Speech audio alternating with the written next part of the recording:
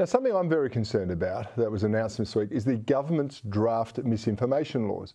Essentially, if this passes, the law would give the body which governs the nation's media, that's ACMA, the power to fine social media companies if basically they don't come down hard enough on what the government says is misinformation on these platforms. Well, I'm not the only one with concerns. Joining me now is Evelyn Rae. She's a podcaster and writer for The Caldron Pool. Evelyn, welcome. It's great to have you on Bernardi. Thank you.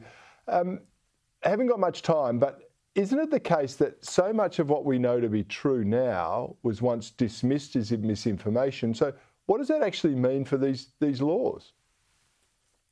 Well, I think that's the lurking question, Cory. Who gets to define what is harmful and who gets to define what the truth is? Because there is no such thing in 2023 as objective truth.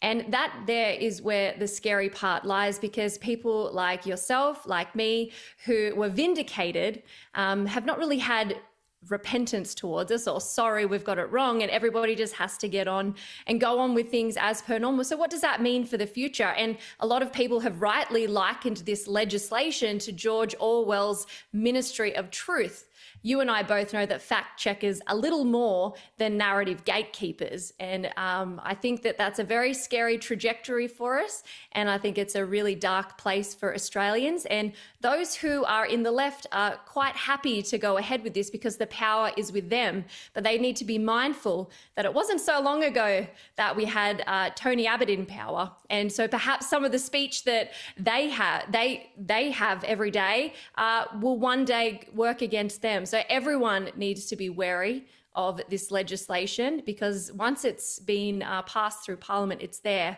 um, and it can be used by whoever is wielding the power at that particular time. Well, that's a very good point. But I think one of the greatest things that you made, uh, you pointed out there is the fact that people who have claimed that the government's information is wrong and what we've been put has been put forward, whether it be in regard to wars, conflict, politics, uh, the, the COVID narrative, global warming, you can keep going for it. They're proved wrong again and again and again. And if government is the arbiter of saying that's misinformation, anyone that disagrees with us, this is a truly chilling infringement on freedom of speech, isn't it?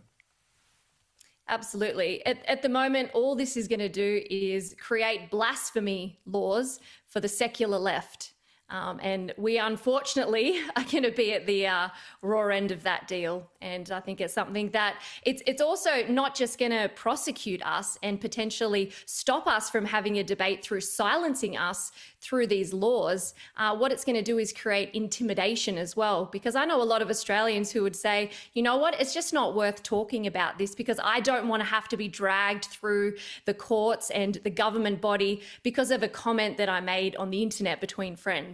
So it's not only going to prosecute us for wrongthink or speech that they hate, it's also going to create this culture which breeds uh, a lack of communication, a lack of discussion, and it is a lack of objectivity and debate that is the language of the oppressor.